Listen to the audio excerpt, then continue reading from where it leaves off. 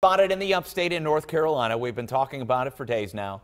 They're trying to lure children into the woods, reportedly. Well, now police in Greensboro say that they that a man carrying a machete chased someone wearing a clown mask into the woods. Witnesses reported seeing someone dressed as a clown come out of the woods a little later on. And officers were unable to find anyone dressed as a clown in the area. No children were involved in this incident.